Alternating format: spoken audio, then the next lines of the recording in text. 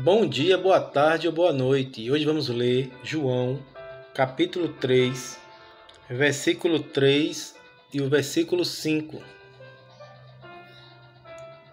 A isto respondeu Jesus: Em verdade, em verdade te digo, que se alguém não nascer de novo, não pode ver o reino de Deus.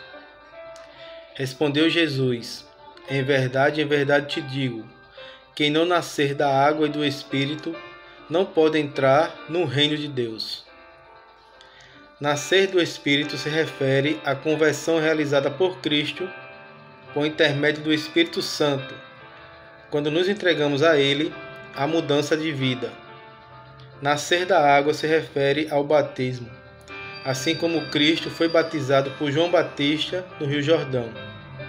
Esse novo nascimento leva o cristão à experiência de estar em Cristo Jesus uma estreita relação pessoal que deve existir entre o cristão e Jesus. Significa mais do que, mais do que depender dele ou ser um seguidor nominal. Implica uma união diária, perseverante e viva com Jesus.